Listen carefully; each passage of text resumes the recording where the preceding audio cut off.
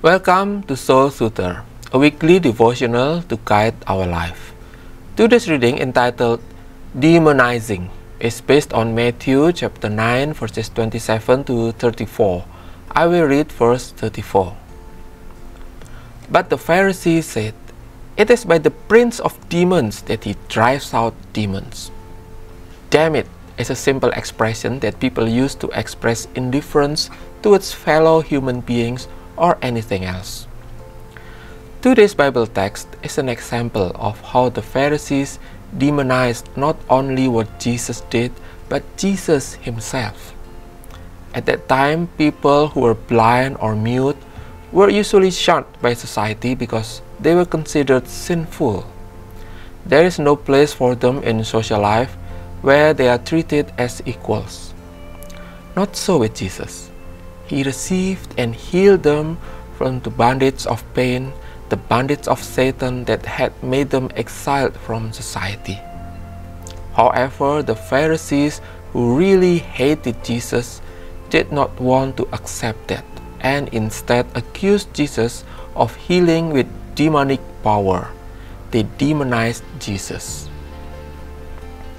Indifference is a very dangerous thing in human life. It's so easy for us to see indifference going on around us. Hopefully, we will not be one of them.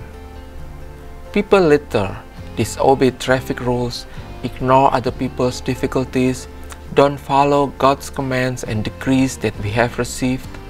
All of that can happen, and it's not impossible for us to just do it as if it's normal.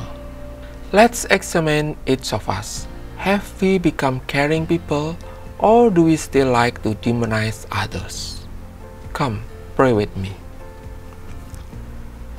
Dear Lord, help us not to demonize everything, including you, because that could be the beginning of our downfall.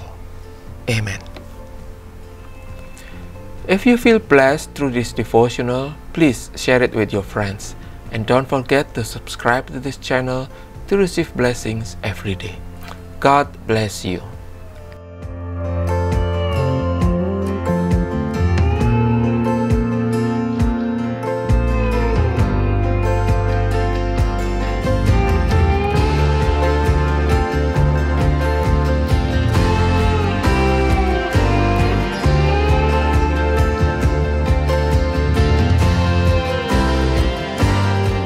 Sahabat, mari dukung pelayanan dan pekabaran Injil melalui YKB dengan membagikan link acara ini kepada sebanyak mungkin orang.